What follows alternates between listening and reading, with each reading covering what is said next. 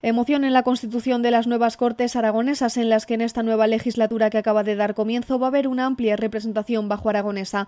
Julia Vicente, la alcaldesa de Alcorisa, ha sido investida nueva secretaria primera de la mesa por detrás del socialista Antonio Coscuyela, el nuevo presidente, y también de la diputada de Podemos, Violeta Barba, vicepresidenta. Vicente ha estado acompañada por su marido, se ha mostrado muy emocionada. Nos contaba que no se esperaba para nada ostentar este cargo, que no se lo creía cuando se lo comunicaron desde la dirección del partido, pero que a pesar de ello lo afronta con mucha ilusión.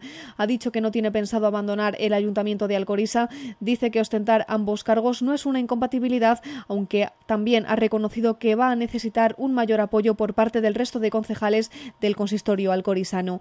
La popular Yolanda Valles también está de secretaria en la mesa de las Cortes, ostentando esta secretaría y ha dicho que luchará por el Bajo Aragón, trasladando a su partido los principales problemas a los que se enfrenta este territorio.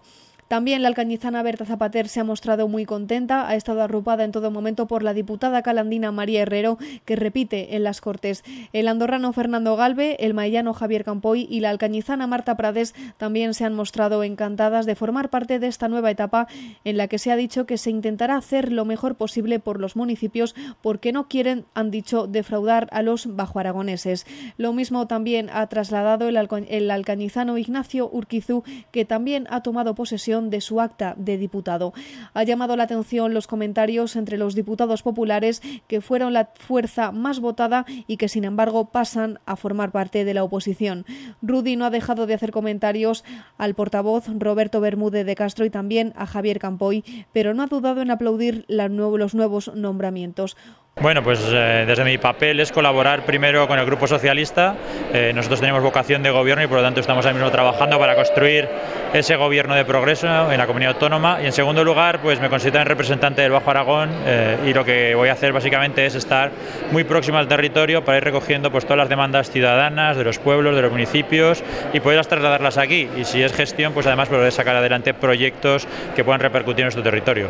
Y bueno, pues la verdad que sí que estoy, pues eso, además de, sobre todo, pues inquieta, ¿no? Tengo esa inquietud por conocer realmente cuál va a ser el cometido, porque tampoco lo conozco a fondo y de iniciar, pues bueno, de todo el trabajo y de poner, pues todo el trabajo como siempre en cualquiera de los sitios en los que he estado, por encima, pues ponerlo ese trabajo, ¿no? Que vamos a desarrollar. Las ideas fundamentales es seguir apoyando los proyectos más importantes para el Bajo Aragón, como puede ser el Hospital de Alcañiz, como puede ser Motorland y como pueden ser sus vías de comunicación y evidentemente que las infraestructuras y los servicios públicos de los bajo aragoneses pues mantengan su estado de calidad como lo han conseguido hasta ahora y, que podamos pues aportar nuestro granito de arena de cara a la recuperación económica que todos estamos trabajando por ella. Bueno, pues con la misma ilusión que el primer día. Ya sabéis que yo ya estuve cuatro años en las Cortes de Aragón la pasada legislatura.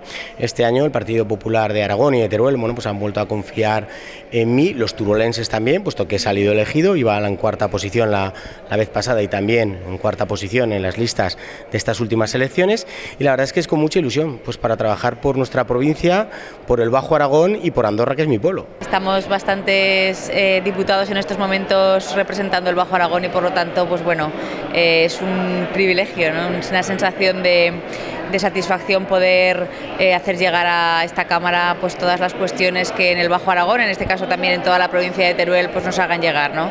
Estamos ahí, estaremos sobre todo ojo a visor eh, para que pues bueno, se nos tenga en cuenta, se nos respete y sobre todo para defender pues realmente el territorio que es a lo que nos, nos vamos a dedicar estos cuatro años. Y la verdad es que la empiezo con la misma ilusión del primer día, además, bueno, ahora ante un escenario eh, realmente nuevo para, para muchos y para quienes hemos estado aquí en primera fila, y bueno, con las energías renovadas y desde luego con mi compromiso total y absoluto con, con mi tierra, con la provincia de Teruel, que es por donde soy diputada electa, y especialmente con el Bajo Aragón, como no.